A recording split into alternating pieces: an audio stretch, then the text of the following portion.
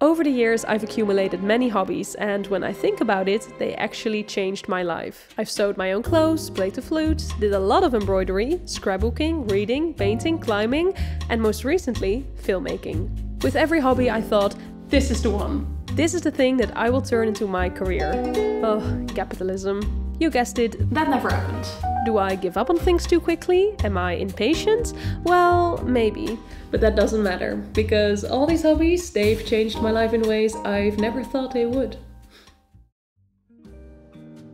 I want to crochet an entire patchwork cardigan as a total beginner. It may be wiser to start with like a beginner's project, a beanie, a sock, but who wants a beanie, right?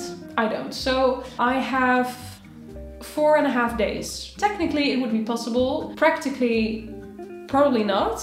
Am I still going to do it? Yes. The reason why I want to crochet an entire cardigan as a complete beginner is because I can't find nice clothing. My wardrobe basically consists of plain black and brown knitwear. Boring. Honestly, I need some color in my life. So I'm thinking a dark shade of green, a light shade of green, and then some like brown orangey color and maybe um, an off-white. I know they're still brown, but there's plenty of color. Okay, come on. The next step is to run to the shops and get the stuff, get the yarn, get a needle and start crocheting.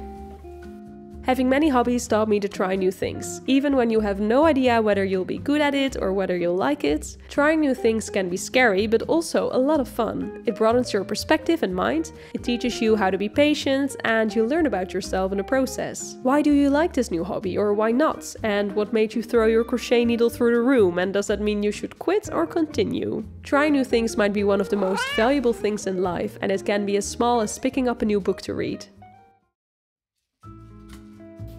We got crochet hook. I don't know what this is called. A darn needle. Yeah, darning needle set. Oh, I actually got the right thing. Measurement tape, wooden buttons, stitch markers. And we've got a whole bunch of yarn. This is not, oh, okay. I know what you're thinking. Where's the green? There's no green. Now, I looked everywhere and it was so much harder to find the right yarn than I thought. So we have to do with what I found. Having hobbies also taught me how to enjoy myself when I'm alone. It gives me something to do instead of the endless phone scrolling, and it provides space to be creative, to let my mind roam free without any boundaries. This took an hour. My first tiny piece of crochet. Yeah, this is gonna take a little bit longer to learn, I think. Oh. When you allow yourself space to be alone and be creative, you might be surprised by what you come up with, by what you'll create. It's truly an amazing feeling when you actually make something yourself. You'll cherish it forever. Proost! Proost! De oliebol van het jaar. Mm. Yesterday I finished not one, not two, but two and a half squares. Mm -hmm.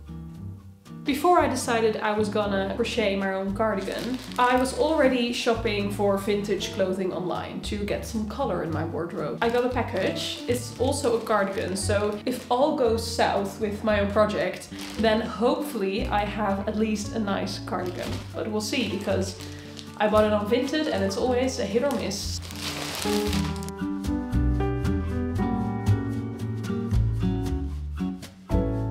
These days we're taught to work hard and long and that anything can be turned into a side hustle. It often feels like the grind never stops, which is why having at least one hobby is so important. And remember, you don't have to be good at it. You don't have to turn it into a handmade business. It's not about money, it's about enjoying yourself in new ways and learning, taking your mind off things and worries. Or maybe you're just looking for ways to spice up your week when every day feels kind of the same.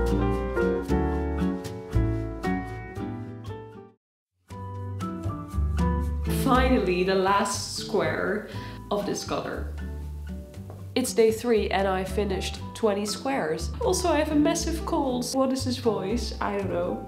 Can't really use this cold right now because I have so much more crochet to do. So yeah, four days. That was definitely too ambitious, but you know, 20 squares. 20 squares done. Look how much. I'm actually impressed. I'm also getting so fast with it, but it still just takes up so much time. Moving on to the next color. Okay, bye. I will continue crocheting and sneezing.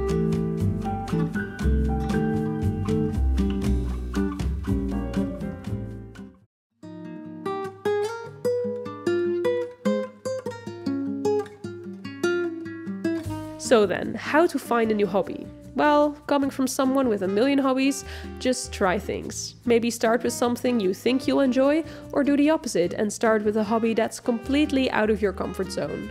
But just try. It's okay if you don't like it, just try something else and try to enjoy the process of learning.